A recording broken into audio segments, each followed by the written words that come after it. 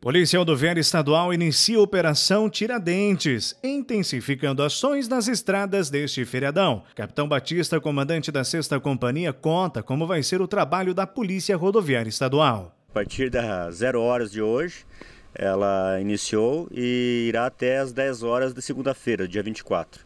O foco principal são os excessos de velocidade, então as operações radar, e também o combate a embregues ao volante mas também não deixamos de fazer as outras fiscalizações, como a situação do motorista, se possui ou não CNH, o carro, né, se está em condições, pneus, limpador de para-brisa, sistema de eliminação, suspensão, também os dispositivos de segurança, sejam eles cinto de segurança, assento de elevação e cadeirinha, é, e os demais itens que o veículo tem que estar em condições para circulação.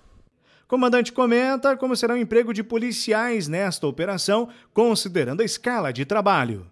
Nós temos as nossas escalas extraordinárias que estão sendo aplicadas nessa operação é, para que o efetivo seja aumentado nas rodovias. Feriadão próximo do outro uh, deve aumentar os números. Como é que o senhor analisa isso, capitão? É, é uma sexta-feira, né, que o pessoal pode, pós, é, tem folga, então pode deslocar de um lugar para outro, então sempre há um aumento de veículos nas rodovias. E de olho nisso é que o Batalhão da Polícia Rodoviária já programa essas operações e utiliza essas escalas para que o efetivo seja reforçado. O comandante da 6 Companhia de Polícia Militar Rodoviária Estadual orienta para quem vai pegar a estrada neste feriadão. Programe sua viagem para sair com antecedência, né? chegar no, no horário é, marcado para seu compromisso. É, não dirija cansado, não faça ingestão de medicamentos que causam sonolência e também de bebidas alcoólicas e outras drogas que possam é, alterar a sua condição na condução do veículo.